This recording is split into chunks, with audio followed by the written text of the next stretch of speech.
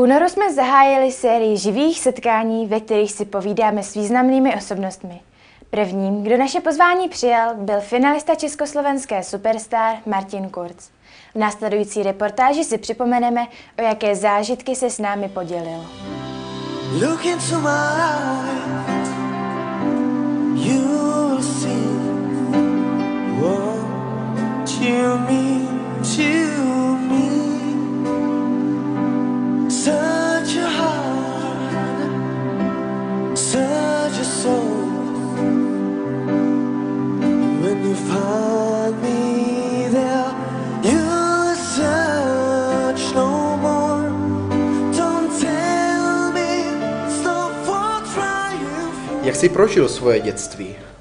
Oh, já jsem měl, si myslím, pěkný dětství, muzikantský dětství, protože vlastně pocházím i z muzikantské rodiny. Mamka vlastně je učitelka klavíru, taťka je houslista, takže, takže já jsem měl hudbu vždycky kolem sebe.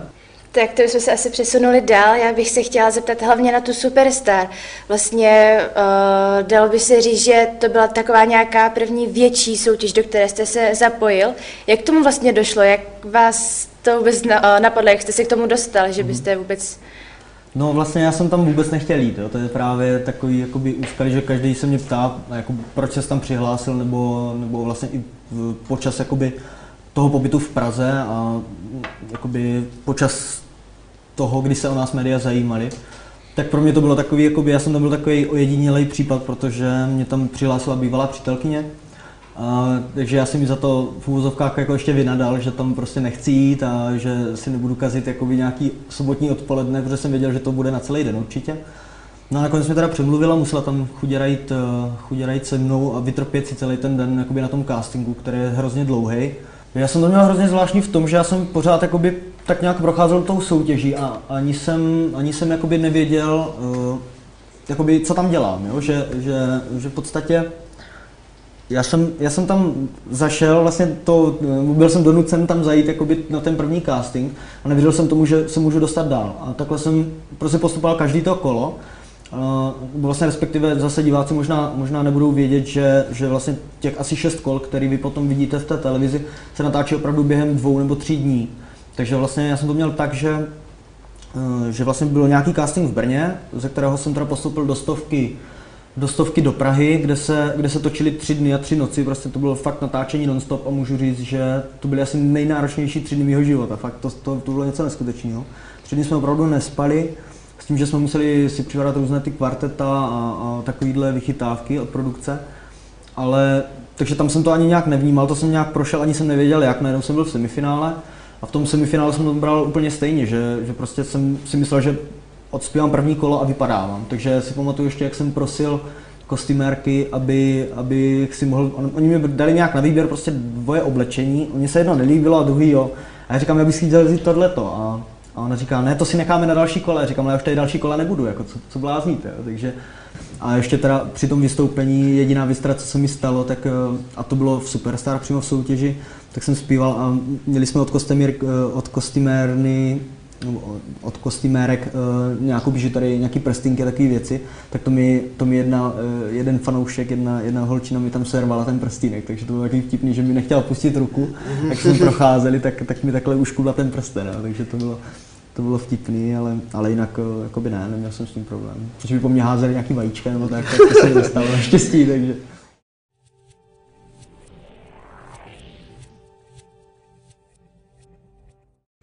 6. února se konal každoroční školní ples základní školy Elišky v.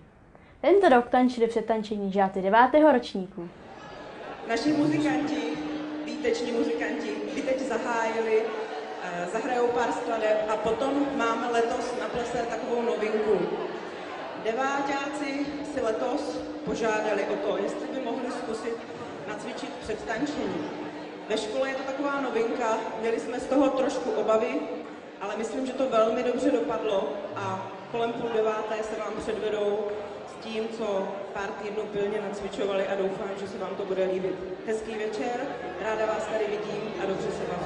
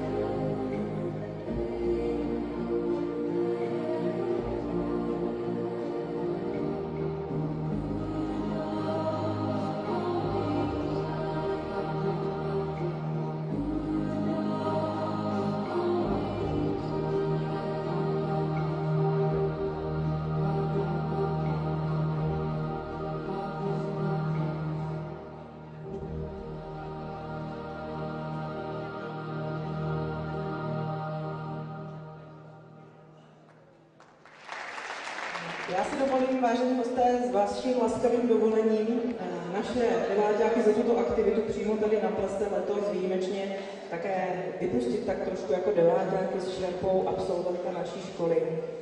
Luci Skolajsové a Štěpánu Bumbovi, našim prvním dvěma absolventům. A prosím hosty o potřesení a o šerpování.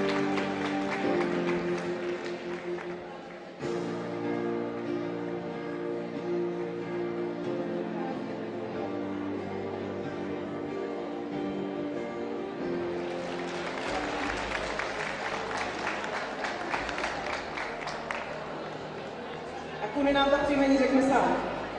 Žárgal Sajka. Děkuju.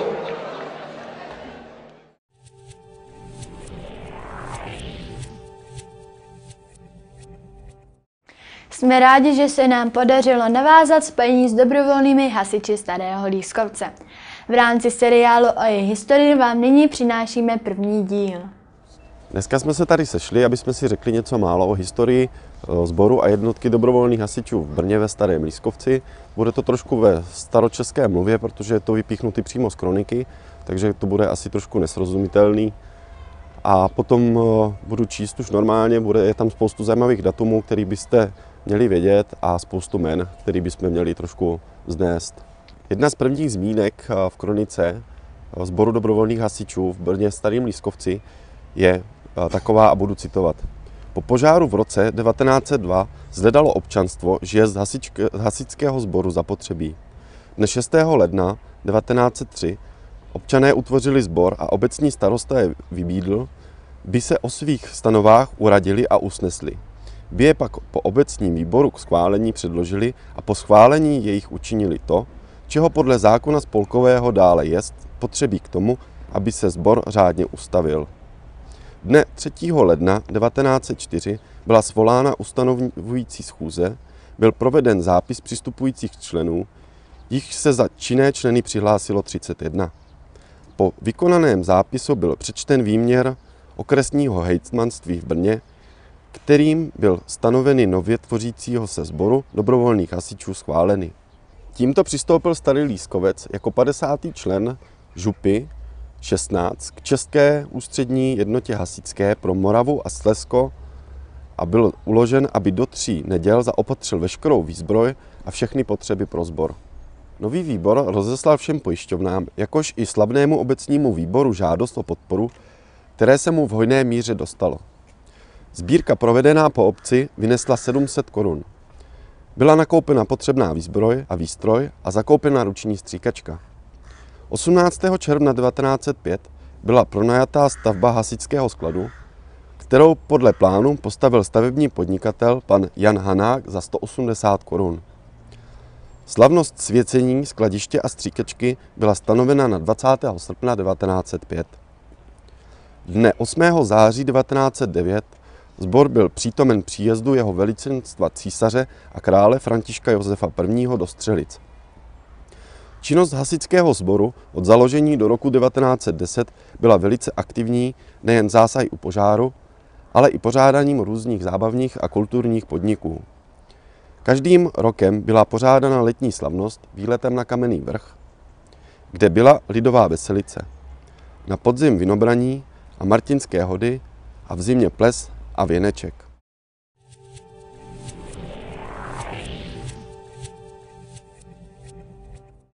Druhým rokem se konal pleskavský ples. Během večeru vystoupili krojované chasy městských částí Starého a Nového Lískovce, Bohunic a Bosonoch. V hudbě a k poslechu hrála dechová muzika Hovorané a cymbálová muzika Kiničan. I letos si tu návštěvníci mohli náravně užít. Pojďme se na to podívat. Rádi bychom vás tady společně s Vladem Krásným panem starostou vás přivítali naší staroliskovecké Sokolovně na druhém lesnickém krojovém plese.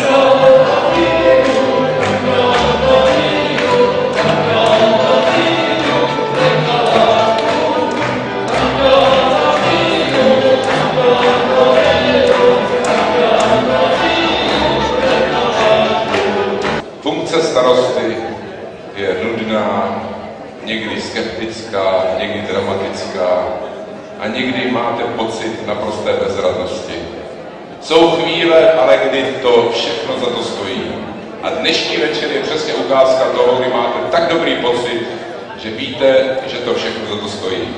Já vám všem děkuji, že jste dneska přišli, mám z toho úžasný pocit a dovolte, abych tady zde v této chvíli mezi námi přivítal paní starostku Nového Lískovce, paní Janu Drápalovou.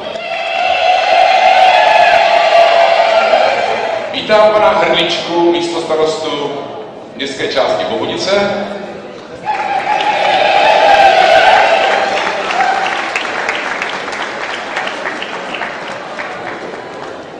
No, samozřejmě vítám místo starostu Staného Lískovce Jirku Dvořáčka.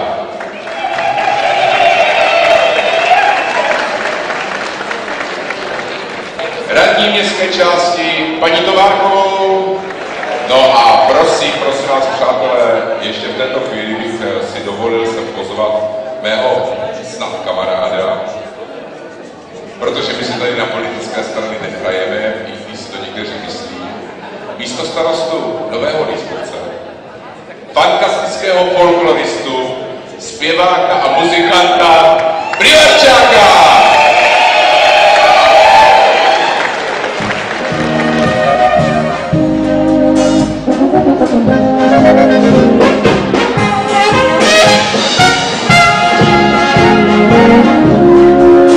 Thank you.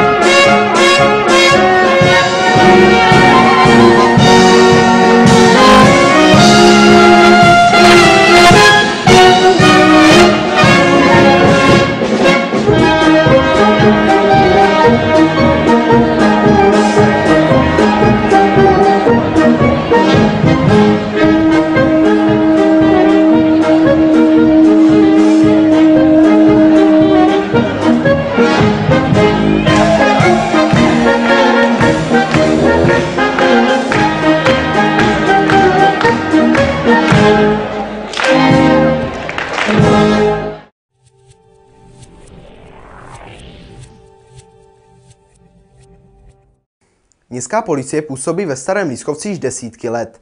Dohodli jsme se tedy s jejich vedením, že vám budeme přinášet nejen aktuální informace, ale i nahlédneme do historie těch, kteří nás chrání. Jedním takovým ohlédnutím je i to, které služební strážníkům poskytovali zázemí pro jejich práci. Já vás vítám na půdě městské policie na služebně Lapská 9 a vy byste chtěli vědět něco o historii ze služebny, která byla u hřiště 2. Takže já vám něco řeknu v kostce o historii vůbec městské policie, protože to si myslím, že je potřeba tak, abyste viděli. Takže počátky městské policie sahají až do roku 1990, kdy vlastně městská policie vůbec v městě Brně ještě před vznikem zřizovacího zákona 553 21 sbírky začala. Zde postupně fungovala inspekce veřejného pořádku, kterou vystřídal oddělení kontroly ochrany veřejného pořádku. Městská policie pak byla zřízena obecně závaznou vyhláškou města Brna. To byla vyhláška číslo 1 z roku 90, která nebyla účinnosti 1. 3 téhož roku. V návaznosti na legislativní změny byla tato vyhláška průběžně novelizovaná a pozměňována. V roce 1991 byl plánovaný počet pracovníků městské policie 110 na celý Brno a ve skutečnosti jich bylo pouze 107, jo? ale vidíte, že tři, to zase není tak velký rozdíl. Postupně vznikaly tak další služebny a postupně se činnost, která se zpočátku zaměřovala pouze na střed města, později rozšířila i na okrajové městské části a to i na revír západ, konkrétně Bohunice, Starý Lískovec, Nový Lískovec, Kohoutovice a Bosonoj. To znamená, revír západ eh, má hned od začátku pět městských částí. Pro oblast eh, Bohunic eh, byla zřízena služebna na Okrouhlé, pak byla ještě jedna služebna v té době, to byla služebna na ulici Oblá, to bylo v Novém Lískovci, a třetí služebna byla v Kohoutovicích, jak je smyčka trolejbusu, když to bylo bývalé kino, tak tam. Jo, takže jsme měli de facto tři služebny. V roce 1992 pak došlo k dalšímu rozčlenění území města Brna, to znamená, že začaly přibývat eh, další jednotlivé revíry a další služebny. Revír Západ byl tedy začleněný jako městská část Bohunice, Starý Liskovec, Nový Liskovec, Kohoutovice a Bosonohy. A početní stav strážníků byl tehdy 17. Jo, tak si vemte, že na tady ty městské části bylo pouze 17, 17 strážníků a tři služebny, teda byly to různě detašovaný teda místa, jak jsem říkal před chvílkou. Eh, pak eh, v roce 95 městská část Starý Liskovec předala městské policie služebnu u hřiště 2. Jo, to je ta služebna Tam na rohu. Jako. na rohu ve Starém Liskovci. Já tady mám dokonce i fotky, tak vám můžu, můžu vám ukázat. Tady vidíte, výborně, mám to tady nachystaný. Takže takhle, takhle ta služebna vypadala. Co se, co se týká těch ostatních eh, služeben, co jsme měli, tak ty byly zrušeny. Jo? Takže ty další dvě služebny byly zrušeny a zůstala pouze tady ta. Eh, Nejvíc strážníků, co tady na té službě bylo, tak bylo 35 lidí. Jo, to už bylo celkem dost. V porovnání třeba tady s tou, která je nová, jo, tady na té Lapské 9, která je otevřená dva roky a momentální početní stav je tady 620. Jo, takže tam nás bylo poměrně daleko, daleko víc.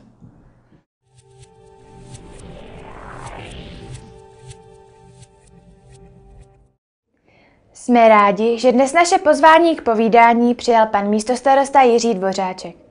Právě teď jsou kameramani, moderátoři i režisér připraveni na radnici odvysílat tento živý přenos.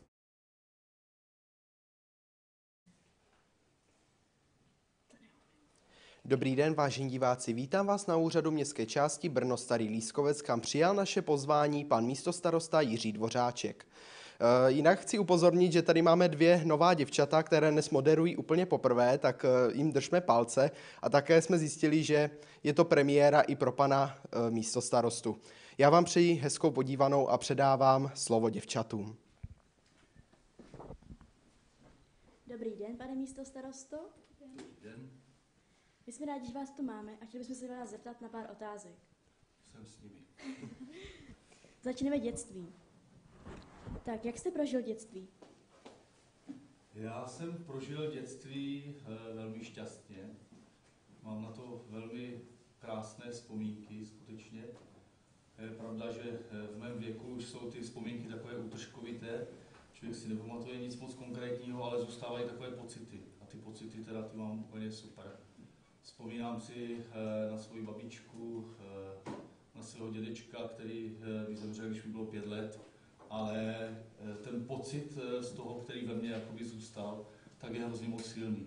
A také se strašně moc rád vracím teda na místa, kde jsem to dětství prožil, protože to nebylo tady v Brně, ale bylo to v jedné takové malé vesničce v podhůří Jeseníku.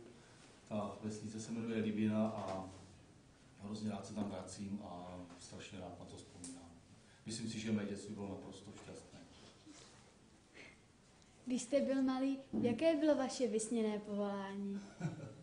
Jo, tak eh, povolání vysněné, no, já myslím, že jsem chtěl být eh, asi vším, co vůbec jde. Eh, Moje maminka, to si vzpomínám teda naprosto přesně, protože jsem vždycky říkal, že jsem přišel a teď jsem řekl nějaké to povolání, čím chci být. Tak ona to počítala nějak a pak vždycky si dělala legraci. No další 365. povolání. Eh, eh, ono se to asi vyvíjelo v čase, že jo, tak jak člověk nějakým způsobem dospívá. Eh, Mám jeden velký sen, to je pravda, to, a možná je jich jako víc, ale potom jakoby toužím hodně dlouho a to se mi asi nikdy nesplní, ale chtěl bych řídit eh, velké dopravní letadlo. To bych jednou si chtěl vyzkoušet, měl jsem tu možnost být na nějakém trenažéru, nějakého Boeingu a bylo to naprosto uchvatné. A vůbec letadla mě teda jako maximálně uchvacují, jako svojí mohutností a ta vyspělá technika, co dneska dokáže, tak to je jako super. Já bych se vás chtěla zeptat. Uh, jelikož jste se narodil v Brně, považujete se ale i tak za Brňáka? Eh, V Brně jsem se nenarodil, to je pravda. Je- Já jsem se narodil v Šumperku, eh, jsem nějaký čas pobýval právě v té Libině a potom asi do svých 15 let jsem bydlel v Bruntále a až potom jsem se přestěhoval do Brna. Eh, byl jsem tady hrozně krásně přijat, na to si vzpomínám, když jsme se přistěhovali sem do toho starého Lískovce, bylo mi 14, tuším dokonce, nastupoval jsem na gymnázium. A e, těmi sousedy, kteří bydleli vedle nás, byli úplně nádherně přivítáni a přijati a já jsem se tady hned cítil jako doma. A já myslím si, že teda po té době už se opravdu cítím jak být jako Brňák. Skutečně ano a i když nezapomínám teda dodat, že jsem ze Severní Moravy, protože, protože to je prostě pravda, já se za to nestydím a rád se tam vracím a vzpomínám na to, ale myslím si, že teď už jsem skutečně Brňák. Co se vám tady nejvíc líbí? V Brně? Mm-hmm. E, tak samozřejmě velké město má spoustu výhod, oproti těm malým městům má taky spoustu nevýhod, ale e, líbí se mi, že je tady možnost jít za kulturou, je tady možnost jakéhosi sportovního vyžití. E, to, to velké město nebo jakoby větší město nabízí toho samozřejmě daleko více než, než nějaké menší okresní město nebo nějaká vesnice. Čili to se, mi, to se mi hrozně moc líbí. I poloha starého Lískovce se mi líbí, byť teda je jaksi obklíčena těmi dálnicemi a tím dálničním přivaděčem tady, ale do přírody není daleko. Uh, já jsem tady spokojen, hrozně se mi tady líbí v Brně. No, to asi není nic, co by, větší město bych asi nechtěl, to teda pravda, že ne, jsem nikdy uvažoval třeba o Praze, ale to už je moc velké město, tam bych uh, nechtěl ani bydlet, myslím jo, podívat se, ano, to, ale ne, to, tak mě to vyhovuje, tak jak to je. Jakou jste vystudoval školu? Školu eh, základní, jsem studoval. v prvé řadě ne, pak jsem, eh, to jsem chodil v tom Brutále na základní školu, potom jsem tady nastoupil na gymnázium na Koněvce, se říkalo, dneska je to Vídeňská ulice, takže tam jsem, tam jsem chodil, no a potom jsem Nějak dva roky jsem dělal stavební fakultu, protože mě eh, stavby vždycky jaksi nějakým způsobem zajímaly i na tom gymnáziu, protože jsem tehdy byl takzvaná eh, starší ročníky si vzpomenou nová koncepce, která se tehdy zaváděla. Výhodu jsme měli v tom, že jsme měli eh, samé nové učebnice v každém ročníku. A, ale bylo tam i na gymnáziu bylo dokonce jakési zaměření, které si člověk musel vybrat, takzvaně povinně volitelný předmět a já, já jsem si tehdy vybral předmět pozemní stavitelství na gymnáziu. Takže mám i, tam jsem měl odbornou maturitu z pozemního stavitelství. A e, pak jsem teda byl na té stavební fakultě, což jsem e, potom zanechal, protože mě jaksi, e, jaksi ten život směřoval někam jinam. A jsem udělal přijímací zkoušky po těch dvou letech, co jsem byl na té stavební fakultě na Cyrilometodějskou teologickou fakultu Univerzity Palackého v Olomouci, takže já mám vystudovanou teologickou fakultu. Já jsem, eh, abych vám to přiblížil, možná, že vám to nebude až tak úplně blízké, ale já jsem kdysi uvažoval o, o tom, že budu knězem, katolickým knězem. Eh, samozřejmě, jak říkám, ten život v tom čase se to, se to nějakým způsobem vyvíjí, takže tuhle tu myšlenku jsem potom eh, opustil, takže ale školu jsem dodělal, takže mám jakoby teologické vzdělání. Co rád děláte ve volném čase? Ve volném čase toho volného času je hrozně málo, to se přiznám. E, já vím, že mi nejbližší mi vyčítají, že e, kdybych, kdyby mě něco jakoby z těch povinností, které mám nebo které si na sebe beru odpadlo, takže si najdu v zápětí nějaké, nějaké jiné. Je pravda, že toho času je, že, že času je hrozně málo, ale pokud teda nějaký ten volný čas je, tak rád sportuji, rád hrají volejbal, eh, rád lyžuji, bruslím, různé takové ty sporty. Takže mm, většinou člověk asi v tom volném čase nejraději relaxuje, že? I, i nějaké ty vycházky a nějaké ty výlety, to mám taky hrozně moc rád, ale říkám, toho času je hrozně málo a být tady na té radnici je to, těch povinností je moc. Ne? A nemám jenom tu radnici, mám i další jiné zájmy, které mi teda berou jakýsi, jakýsi čas, takže tam toho času je dost málo. Máte nějaké domácí zvíře? Domácí zvíře e, nemám, to nemám, nemám. Když jsem byl, když jsem byl malý, byl jsem v panelovém domě taky v tom Bruntále, tak jsem měl kočku, to tam bylo taková divoká, tak to jsme měli, ale teďka nemám žádné domácí. To by byl chudáček, poječ by byl pořád sám. A teď dáme prostor otázkám od publika.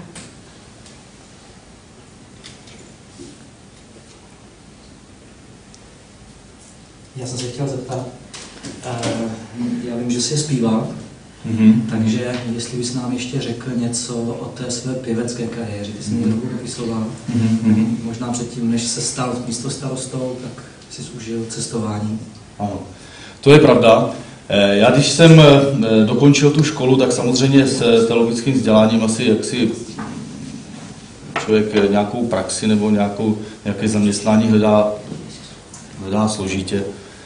E, nicméně jsem to využil trochu, učil jsem jeden rok na biskupském gymnáziu e, náboženství, ale zároveň jsem přitom měl hlavní zaměstnání a to, že jsem pracoval u stavební firmy. Takže jsem se jakousi takovou oklikou dostal zpátky k tomu stavebnictví, což mě, na- eh, což mě celkem bavilo. Tam jsem byl zaměstnán jako technik a byl jsem, byl jsem tam snad nějakých 14-15 let určitě, než jsem se stal potom místo starostou, ale přitom ještě jsem se z hodou takových eh, okolností, jak už to v životě bývá, z hodou různých náhod, jsem se dostal na konkurs a eh, udělal jsem konkurs, eh, stal jsem se členem Českého filharmonického sboru Brno. Je to velké těleso, které zpívá teda klasickou hudbu.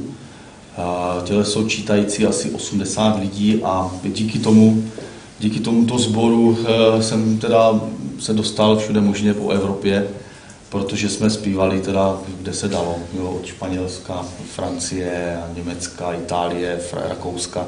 Takže díky tomu, eh, díky tomu jsem teda procestoval i ten svět a díky to, té lásce k té hudbě a tomu, že jsem mohl jaksi, jaksi zpívat, tak, eh, tak to bylo fakt úžasný. Hrozně rád na to vzpomínám. Eh, Musel jsem toho potom nějakým způsobem zanechat, protože hm, jsem se oženil, přišly děti a toho, bralo to hodně času a toho cestování bylo hodně a už to prostě nešlo všechno skloubit dohromady. Eh, Dělat tři zaměstnání za nás, to už to prostě taky nešlo. Eh, Takže přes den jsem byl v práci ve stavební firmě. Odbíhal jsem si učit, odučit pár hodin na bigy a, a po večerech jsem ještě chodil na zkoušky a občas jsem vycestoval teda někam ven, takže to bylo jako je hodně náročný a složitý. Ale zase rád na tu dobu vzpomínám, protože člověk byl mladší, měl těch sil hodně a tak jsem toho využil maximálně, co to šlo. Na co jste nejvíce hrdý? Na co jsem hrdý? Hmm, to je dost složitá a těžká otázka. No, to nevím, jestli člověk může být ve svém životě na něco hrdý. Já vždycky říkám, že to, co mám, jak si ty schopnosti, které člověk má, tak eh, většinou to není jeho zásluha, dostane jaksi od těch sudíček nebo toho výjimku. A důležitý asi je, aby člověk eh, ty schopnosti, které dostal, aby je náležitě rozvíjel a jak si je rozvíjel pro, pro nějaký, aby to nez- neznělo zase moc vznešeně nějak, ale i pro blaho těch druhých lidí, že jo? takže když někdo umí prostě zpívat, tak je moc hezký, když to nějakým způsobem rozvíjí a tím zpěvem potom dělá radost druhým lidem, že jo? když někdo má hlavu na to, že dokáže vymýšlet různé věci, tak, eh, tak eh, by to měl taky rozvíjet, jak si to nadání tady v tomhle tom bádání a zkoumání a jak si by měl eh, být prospěšný teda těm druhým lidem. Takže o to se snažím, možná trošku na to, že se snažím být jaksi prospěšný těm druhým lidem a samozřejmě tahle ta pozice nebo tahle ta funkce, kterou teďka zastávám, jak si ta služba toho místo starosty, záměrně říkám služba, protože to není zaměstnání, je to skutečně služba veřejná, tak eh, mi dává tu možnost, jak si být aspoň trochu prospěšný, tak možná, ale spíš asi, nevím, jestli jsem na něco úplně hrdý. nevím. Vždycky se dají dělat věci lé- lépe. Jak jste se dostal k pozici místo starosty? Eh, K pozici místo starosty jsem se dostal, no dostal jsem se tak, že jsem jaksi chtěl, eh, po těch, já nevím, těch 13-14 letech v té stavní firmě, to vždycky jaksi táhlo jaksi k tomu veřejnému životu a eh, měl jsem o to zájem díky teda eh, té politické straně, kterou zastávám, nebo které jsem členem, tak díky tomu jsem se dostal nejdříve tady do rady městské části díky volbám a tehdy to bylo eh, v roce tuším 2000, sedm, osm, ale byl, na prvním místě byl můj kolega, který byl místo starostou a ten potom odešel na jinou pozici do Prahy a já jsem to potom po něm převzal, jakoby náhradník a e, takže tímto způsobem, no, díky volbám jsem se tam samozřejmě dostal, pak se to podařilo tedy dvakrát, teď, teď po druhé, poslední vole po druhé obhájit tu pozici, takže v podstatě třetí volební období e, jsem místo starostu, na pozici místo starosty. Máte nějaký trapas ve vaší pozici místo starosty? Trapas? Veselou historku. Ha. No já, jo, někdy některé veselé historky tady jsou a nevím, jestli je mohu prezentovat, protože se týkají občanů Starého Lískovce většinou Eh, a nerad bych eh, se někoho dotknul, eh, takže to asi, asi, asi ne, asi ne, neříkám, že se tady nezasmějeme, to se určitě zasmějeme v práci také, ale nespomínám si teda na žádnou konkrétní, kterou bych mohl prezentovat způsobem. Vzpomínám si na jednu veselou historku, která se mi stala v době, kdy jsem učil na, té, na, na tom BI a to jsem tam byl skutečně krátce, snad první, druhý den. A já jsem měl nějaký dvě hodiny, potom hodinu volno jsem učil a pak ještě jednu hodinu, jak se odpoledne. A e, tak já jsem e, tam přišel, že jo, v kabinetu jsem byl úplně nový, že jo, jako externí ten učitel tam. A teď jsem si to odučil a jsem říkal, mám hodinu volno, tak se půjdu projít, že jo, ven, tam na tom, jestli víte, to je na tom žlutém kopci nahoře. Tak je tam park, tak se půjdu projít a teď je tam jdu, tam je vrátnice a ten vrátný, kam jdeš? No, jsem říkal, no, mám teďka hodinu volno, tak jako ven, máš nějakou propustku? Já jsem říkal, jakou propustku, jako to mě nikdo neříkal, pan ředitel neinformoval, že, jo, že musí mít nějakou propustku, když chci odejít z té budovy. No, třídě učitele nějakou propustku. tak mě to teprve došlo, že si mě teda spletl se studentem, což je potěšilo, že vypadá mladší, než jsem byl. Ale tak jo, tak to je taková humorná historie pustil mě nakonec. No. konce i pak zpátky dovnitř. A pak už jo, pak, pak je vždycky nadále zdaleka zdravě, a to bylo dobrý, já si to pamatoval.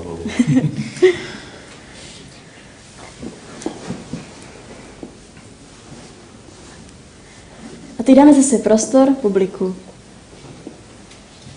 Eh, já jsem se chtěl zeptat, eh, ty jsi mluvil o tom, že máš ještě další aktivity si přiznám, že tady přebývám, takže nevím. Mm-hmm. Vím o tom, že jsi aktivní ve scoutu. Mm-hmm. Jestli bys mohl o tom něco říct, kdy, protože jsme spolu taky jezdívali. Mm-hmm. Takže jestli bys mohl říct, jak se k tomu dostal a nějaký zážitky s tím scoutem. Mm-hmm. Jasně, já jsem teda člen scoutu od roku 89. E, to je pravda, to už mi tehdy bylo 19 roků, čili e, tak jak Scout je prezentován jako mládežnická organizace, tak já už jsem tam jako moc mládežník nebyl, spíš jako dospělý.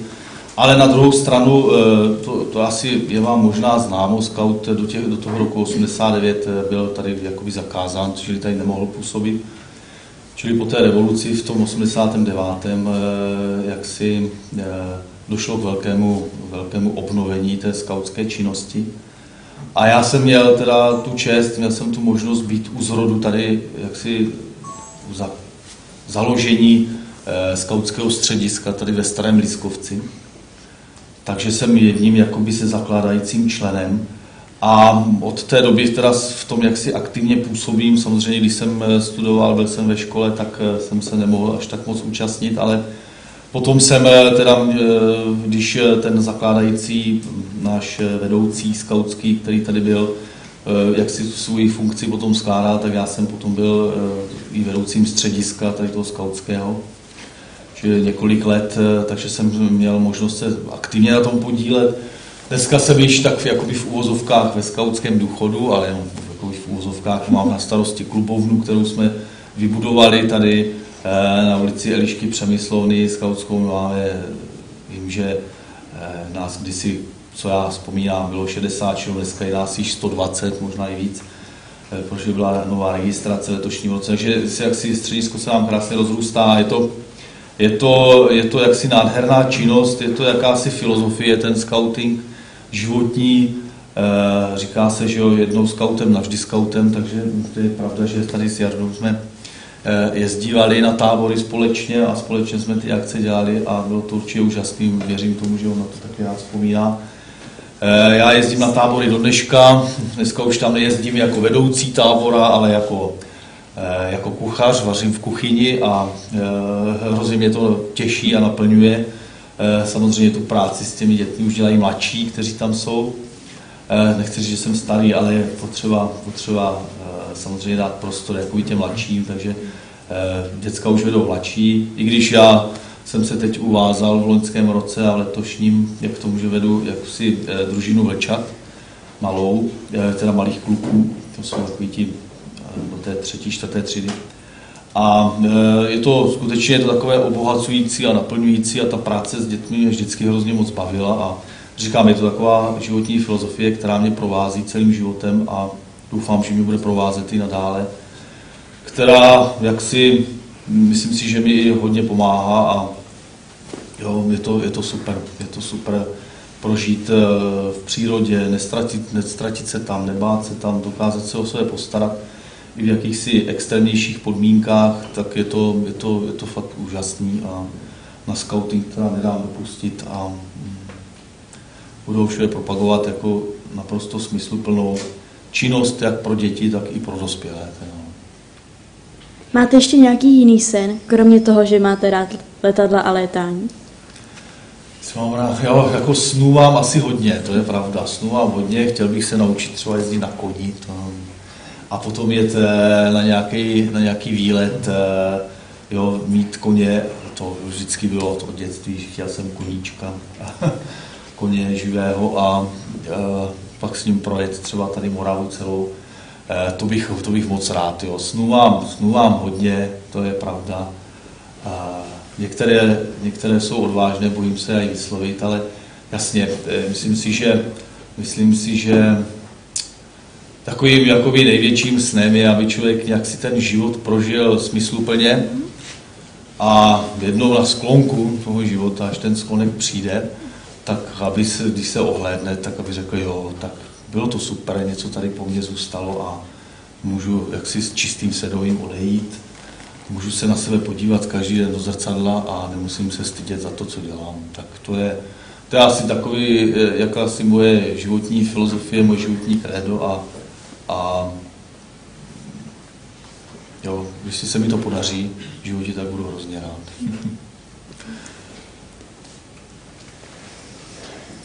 Má tady z publika ještě nějaký dotaz? Tak já se zase zeptám.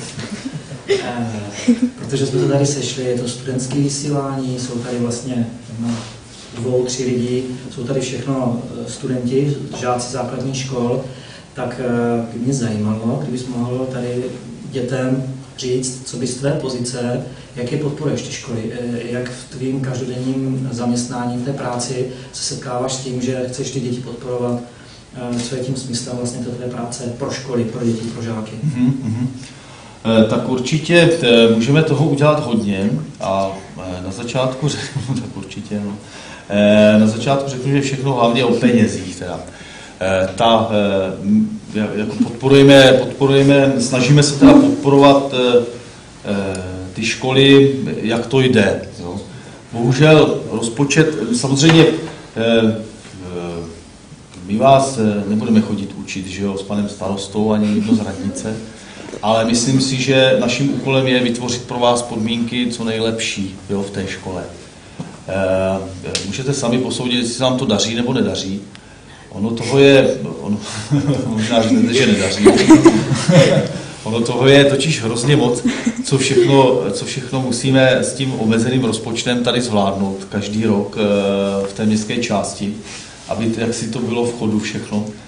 A, eh, ale každopádně se snažíme eh, do toho školství maximálně teda přispívat nějakým způsobem, že i tady ten kroužek, který vy provozujete, tak jak si je žije z podpory tady radnice a z rozpočtu. Ale říkám, no, můžete to posoudit sami, jestli se nám to daří nebo nedaří. Vím, že to je většinou hlavně o penězích. Teď se nám podařilo třeba e, jak si e, spravit budova školy na Lapské ulici. Tam si myslím, že vypadá daleko lépe. Slibujeme si od toho, že se ušetří hromada peněz hlavně za topení, protože ta budova je zateplená, nová okna, dveře tak doufáme, že se tam ušetří nějaké finance za to peníze a že následně ta škola ty ušetřené finance bude moci použít jo, do výuky, aby vám vybavila lépe třídy, abyste měli nové lavice a já nevím, interaktivní lavice a nové pomůcky a učebnice. Takže eh, tady v tomhle tom v letošním roce se nám podaří to stejné udělat na ulici Bosonožská. To už vám mohu prozradit, že 1. dubna eh, tam přijdou zedníci a začne se intenzivně pracovat. Trochu vás to omezí, co jste z Bosonožské, malíčko, ale budou se snažit, že ne. Ale takže by e, základní škola Bosonožská měla vypadat stejně tak jako Lapská a stejně si od toho slibujeme zase nějaké ušetření těch financí, které potom paní ředitelka zpětně bude moct do té školy nějakým způsobem vložit.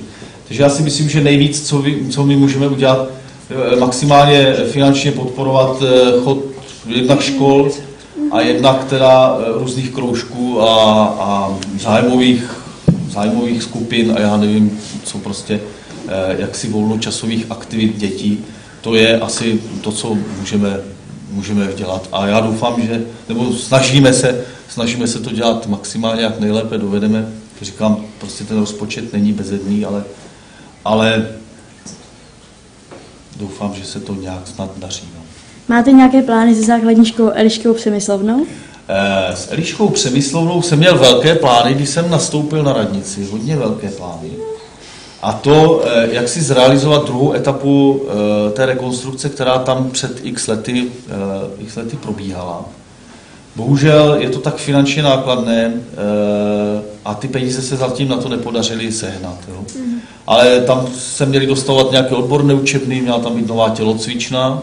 To všechno se prostě nestihlo, ta tehdy ta oprava, když se ta budova opravovala, tak to byla rozdělena na dvě etapy a tohle je ta druhá etapa, která ještě zrealizovaná nebyla.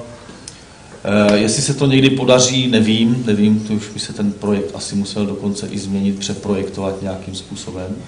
Ale myslím si, že na Elišku nezapomínáme, jako máte nové hřiště, teď budete mít nové vstupní dveře, které se nedají zavírat, tak se snad už teď budou, až, až se vymění, a, ale jako, jo, jde, to, jde to postupně, určitě. Elišku jako základní školu se mi hrozně moc líbí, protože je taková škola takového, já vždycky říkám rodinného typu, ale to je protože je taková malá. Jo.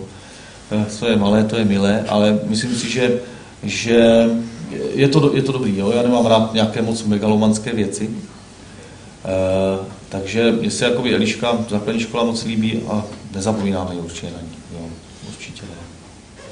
Jaký máte vztah jako nejenom ke sportům, jako je jízda na koni, ale třeba ke sportům, jak je teďka v televizi mistrovství světa? Eh, sleduju samozřejmě, ve, volných čas, ve volném čase sleduji, co se dá. Hrozně se mi líbí biatlon, mm-hmm. hrozně se mi líbí atletika, samozřejmě sleduji hokej a fotbal. No a samozřejmě sleduji to, kde se daří našim sportovcům, protože jsem asi velký patriot, ale jo, mám, mám to rád i jako, jako divák, jo. Mám to moc rád. Máte také takový kladný vztah i k bojovým sportům? E, ne, to nemám, nemám. K bojovým sportům e, vztah nemám. E, třeba si vzpomenu třeba box, nebo já nevím, jestli je nějaký jiný, jako, e, tak to moc rád nemám, protože to jsem nikdy nepochopil, že jsou dva lidi normální rozumí, vždycky si myslím, jako, kteří jsou v tom ringu a teď do sebe v rámci sportu teda mlátí hlava nehlava, dokud ten jeden toho druhého nepřizabije, že jo. Tak tohle to ne, to se mi nelíbí, to se mi nelíbí. Ani různý kontaktní jakoby sporty bojový nemám, nemám moc rád, nemám, ne. Jo, pokud je to jakoby um, umění jakési bojové, kde se předvádí, tak, tak je to zajímavé, je to zvláštní, ale nějak zvlášť to nesleduju, to ne, to ne. Líbí se vám krasobruslení? jo, krasobruslení je je zajímavý sport. E, taky jsem ho sledoval, pokud tam máme nějaké si úspěchy e, našich reprezentantů. E, jediná věc se mi na tom nelíbí, že je to, když oni se to snaží nějakým způsobem odstranit, že ho snažili, ale nevím, jak se jim to moc daří. Vím, že dnes, dneska je již bodování toho krasobruslení jaksi nové, mm. ale vždycky jsem, vadilo mě na tom to, že to je prostě těžko měřitelné. V té atletice, že jo, kdo rychle, kdo dál, kdo víc. Tady v tom samozřejmě taky možná kdo víc, kdo, kdo hezčejc a to už je, to už je jaksi takový subjektivní hodnocení, že se to těžko dá poměřit, jo, kdo udělá tu piruletu lépe, nebo kdo ji udělá, nebo kdo skočí ten jakýsi trojný, čtverný skok lépe. to jako já jako divák nedokážu posoudit a je to fakt je to takový subjektivní a vždycky kolem toho bylo spousta nejasností, tak to mě na tom sportu vadilo. no. Ale sleduju i to, pokud je čas. A máte ještě něco, bez čeho byste nemohl žít? Bez čeho bych nemohl žít? Hmm. Bez vody, bez jídla. Člověk asi nepřežije. Co bych, bez čeho bych nemohl žít? Ne, asi ne, asi ne. Asi nejsem, nemyslím si, že bych byl eh, na něčem tak hrozně moc závislý, že bych řekl, bez toho nedokážu žít. To asi ne. Jo. Těžko bych, eh, jasně, těžko bych žil bez přátel, eh, kteří mě podporují, bez kamarádů, těžko bych žil bez svých dětí, ale jo, ono všechno prostě je. Všechno je, jak si tady na tomto světě pomíjející, každý ten lidský život jednou pomine, Mm, nemyslím si. Snažím se jak si nelpět na ničem tak, na ničem hmotném tak, abych o tom mohl říct, že bez toho nedokážu žít. To asi, to asi ne. To asi ne.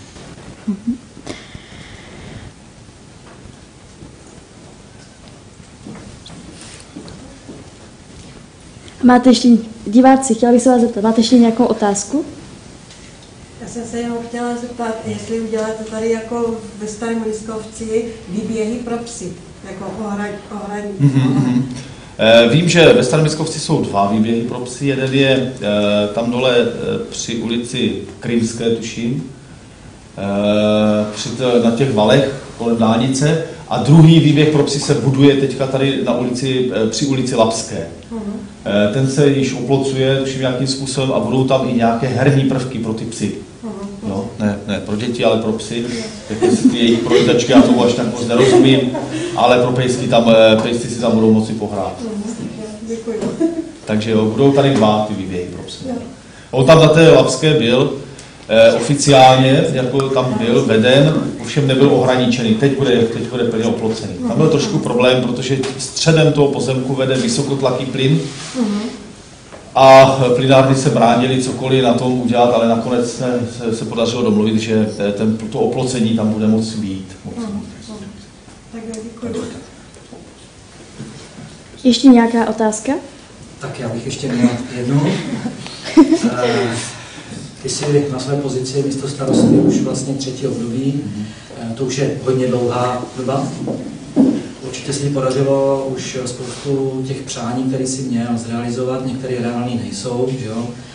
Eh, Je za tu dobu ještě něco, nemyslím tím- teď slib, ale něco, co bys ještě ty vnitřně sám sebe chtěl udělat eh, v rámci tady této městské části? Mhm. Mám jeden velký sen tady v tomhle. tom. Eh, Děkuji za otázku. Eh, Mám fakt velký sen a není to nic hmotného. Já si hrozně moc přeji a eh, udělám pro to všechno, co půjde. Eh, Jak si ne pře- převychovat, to ne, to je možná špatné slovo, ale nějakým způsobem ovlivnit eh, obyvatele Starého Liskovce natolik, aby aby si dokázali vážit toho, co je obklopuje. No, Protože se mnohdy setkáváme s tím, že něco nového vybudujeme a e, někdo druhý v zápětí to zničí, poškodí e, a to mě, to mě hrozně moc, to mě vadí a bolí mě to, protože Jo, jasně, já když jsem nastupoval tady na tu pozici místo starosty, jak jsem, jsem šel s obrovskými ideály, jo, jak všechno půjde, Eh, jak prostě, když něco nejde, nebo když někdo říká, tak to prostě je neschopný a že já to udělám určitě daleko lépe. Člověk potom v té funkci zjistí, že ono všechno nejde tak jednoduše, jak si představuje, že je potřeba dodržet spoustu zákonů a že ta státní zpráva je hrozně moc zdlouhavá a zkostnatěla a, a všechno jak si dlouhou dobu trvá a ne na všechno se, se podaří získat finanční prostředky, ale e, vidím za, skutečně za mnohými projekty, které se tady podařily v městské části, je jaksi spousta práce, e, za kterou stojí nejenom starosta, místo starosta, radní, zastupitelstvo, ti někdy zvednou jenom ruku a odsouhlasí to, ale spousta práce těch úředníků, kteří pracují tady na tom úřadě. A samozřejmě v neposlední řadě těch dělníků, kteří potom jaksi tu kterou věc zrealizují. A e, stojí to potom hodně práce a potom mě fakt skutečně bolí e, a začnu úplně tím nejmenším. Jo. Postavíme tady nové odpadkové koše a někdo jde a sprejem je prostě postříká a kdyby aspoň nějak hezký, ale to je prostě, je to jakési umění, kterému já tedy osobně nerozumím a svým způsobem je zničí, on je neponičí fyzicky, jo, ale esteticky to už potom nevypadá tak, jak by mohly ty koše vypadat, když byly, když byly jakoby nové tam posazené.